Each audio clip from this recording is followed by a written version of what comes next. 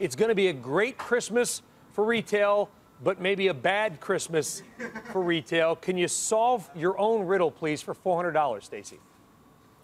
Yes. Um, so I think that if you look at the consumer right now, you know, they're feeling great. Confidence is up there. You know, jobless rates lowest since the late 1960s. So everything's good. Uh, money's burning a hole in the consumer's pocket. However, you know, certainly Amazon had to go last week and ruin the retail party and say that, hey, we're going to lead and raise wages. So that's wonderful for the consumer. But for retailers, once again, they're going through this wave that we saw a few years ago where their costs are going to be going up again. So that's going to put pressure certainly on the bottom line and especially for the companies that are struggling like a JCPenney and like a Bed Bath & Beyond.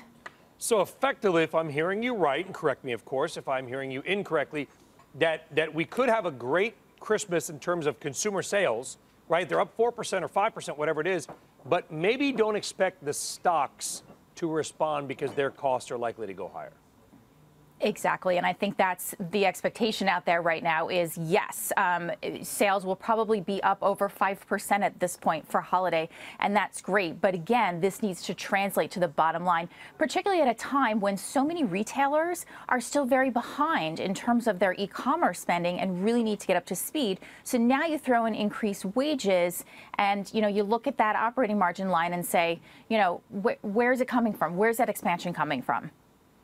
You know, tell us why you think that, and I'm going to sound like a phony millennial here, the TIF is so GD, OMG.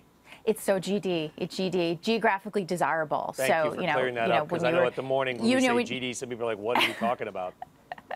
You know, when you're in your 20s, you had to date somebody who was geographically desirable. It's like Tiffany, if you look at the luxury sector right now, it's it's been incredibly healthy and Tiffany has certainly lagged behind. However, not only are they getting their product more modern, younger, doing some interesting things on the store testing level, but the place that tourism is weakest in luxury is in Europe, and they have the least exposure to Europe of any of the brands there. So I think they're teed up for a really nice holiday, and on top of it, everybody knows that they're spending on their flagship store. That big news is out of the way here. So I think in terms of Tiffany comps rule and, and holiday, I think that will happen. A lot of our viewers like to bottom feed. They want to find stocks that are beaten up and think, okay, I'm going to get something here for like a deep, deep discount.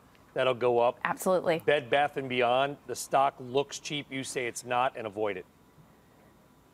I, I agreed. It's so the operating margins on this one have gone from 13% down to 4% in five years. They have lagged behind just what I was talking about in terms of spending on e-commerce, and they've been basically driving the business through coupons and promotions, and they have a lot more spending to do. They've had a management team that really needs to evolve, I would say.